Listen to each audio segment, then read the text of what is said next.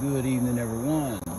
Uh, this morning I'm going out to Jupiter and I'm using a Celestron uh, C6 and I'm using a ZWO 120 with a two times uh, Barlow.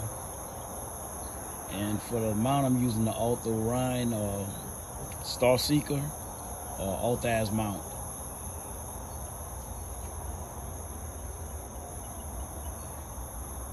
You have to excuse me. I'm using my cell phone to uh, record this.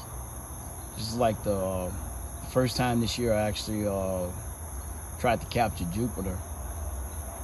For the last couple of months, it's been pretty. The weather's been pretty nasty. It actually rained early today, and we do have a little uh, rough atmosphere.